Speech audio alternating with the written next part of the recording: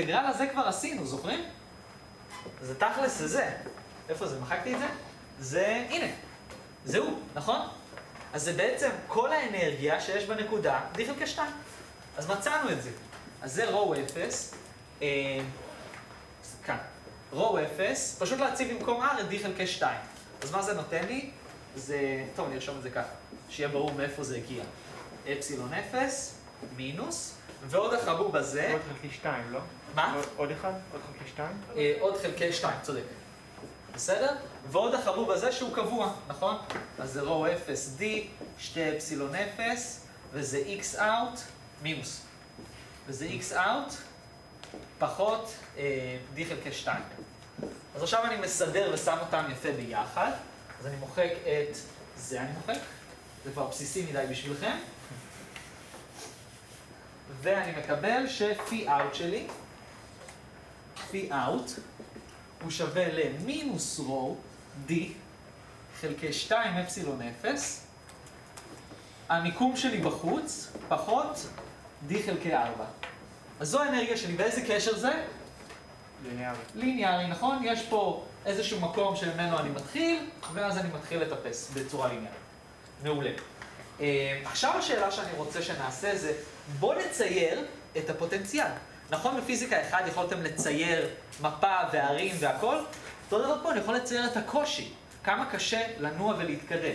אז בואו נצייר את זה, אז ו', ו', אה, צייר את הפוטנציאל.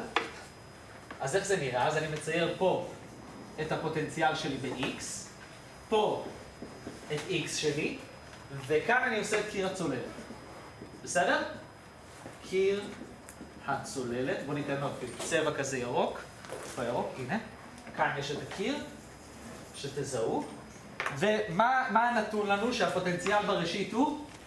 אפס. וכאן מה גילינו שיש לנו? פרבולה מבואסת, נכון? ואז היא ממשיכה ונהיית ליניארית. נכון? זה מה שקיבלנו? מעולה. בואו נצייר את חבר שלו, השדה החשמלי, אוקיי? אז מי השדה החשמלי? אז זין.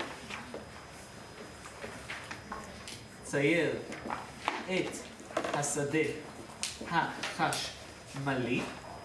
אז אם אני מצייר כאן את E של X, נכון? ופה את X, ושוב יש לי קיר של צוללת, אז מה מצאנו?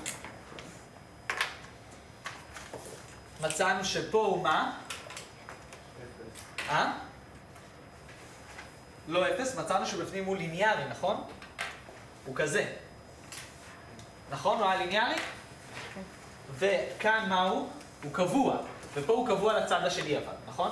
קבוע וקבוע. נכון? פה הוא ב-x חיובי, כאן במינוס. זה מה שקיבלנו אותו, נכון?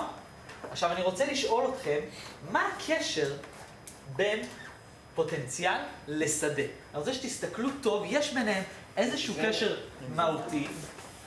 ראינו עד עכשיו,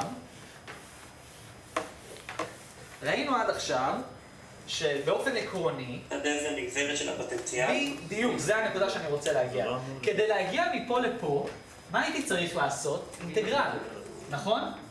אינטגרל EDR עם המינוס, נכון? וכאן מה אני צריך לעשות? את ההפוך, את המינוס של הנגזרת, נכון? נגזרת באופן, פה זה נגזרת ב-x, נכון? אבל אם אני רוצה לדבר על נגזרת כללית, נגזרת שהיא לא משנה באיזה קורדינטה בחרתי, ואיזה מרחב, כמה מימדים, אז אני מדבר על הנמלה, נכון? על גרדיאנט. אז בואו נצייר את זה. אז המסקנה שרציתי להגיד לכם, ועם זה אנחנו הולכים לסיים, זה שאפשר להגיע מ-E ל-V, אבל בשיעורי בית אתם גם תראו את המסלול הזה, אוקיי? מ-V אפשר להגיע ל-E. מה הקשר בין הדברים?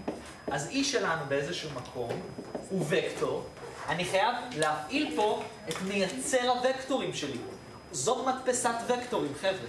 זה גרדיאנט. גרדיאנט על V, ואני צריך להוסיף את המינוס שהיה באינטגרל. אז פה במקרה שלנו הגרדיאנט שלנו זה רק הנגזרת ב-x, אבל כאן הגרדיאנט יכול להיות כל מיני דברים, תלוי באיזה קורדינטה אני. בדרך כלל אצלנו זה יהיה משהו נגזרת אחת וזהו, אוקיי? זה הרעיון. מה אנחנו הולכים לעשות בשיעור הבא, בשבוע הבא? בשבוע הבא אנחנו הולכים לעשות נושא שקצת מקדים את עצמו, וזה לדבר על קבלים, אוקיי? שזה רכיב חשמלי במעגלים חשמליים. אז אנחנו קודם מדברים על קבל לפני שאנחנו מלמדים על מעגלים חשמליים. ולמה אנחנו עושים את זה? כי קבל זה נושא שמחבר את שדה חשמלי ואת פוטנציאל למשהו אחד וסוגר את זה טוב, אז מאוד נהוג להתחיל דווקא בנושא קבלים, זה נושא סופר מעניין על גיטרות ועל רפואה ומלא מלא דברים. אז אה, זהו חברים, מקווה שהתרגול היום עזר לכם במיוחד החלק הראשון החדש, ומלא מלא בהצלחה, נראה אתכם שבוע הבא. כן.